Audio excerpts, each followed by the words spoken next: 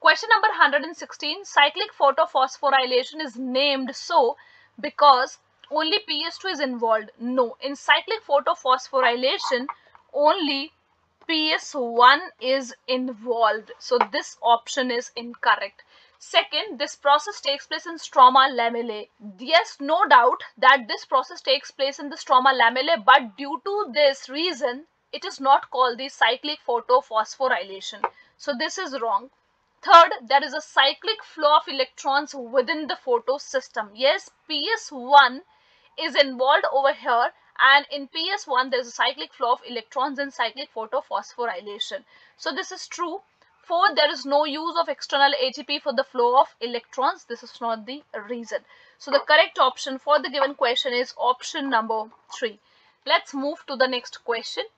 Question number 117. Cyclic photophosphorylation operates under all of the following conditions except first absence of reaction center P700.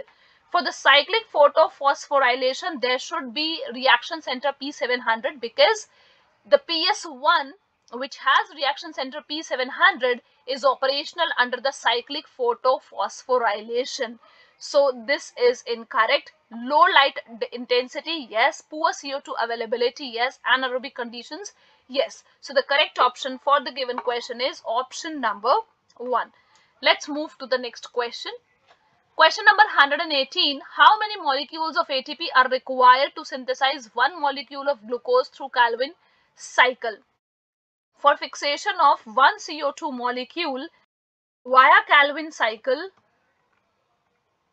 there is a requirement of 3 ATP. And if we want to make glucose, there should be fixation of the 6 CO2 molecules. So the 3 into 6 which leads to formation of 18 ATP. So the correct option for the given question is option number 1. Let's move to the next question. Question number 119. Select the odd one with respect to the bundle sheath cells. No intercellular spaces. This is correct about the bundle sheath cells of the C4 plants. Second, have few number of chloroplast. No, they have abundant number of chloroplast. Grana are absent in the chloroplast. Yes, the chloroplast are agranule. Fourth, thick wall of the cells. True. So the correct option for the given question is option number 2. Let's move to the next question. Question number 120. In tomato, C3 cycle occurs in mesophyll cells of the leaves. Yes, it is true because tomato is a C3 plant and in C3 plants, the Calvin cycle occurs in the mesophyll cells of the leaves. It has OAA, oxaloacetic acid as the first stable product. No, it is not the first stable product. In case of C3 plants, the first stable product is the PGA. Third is faster process of CO2 fixation as compared to the C4 pathway. No.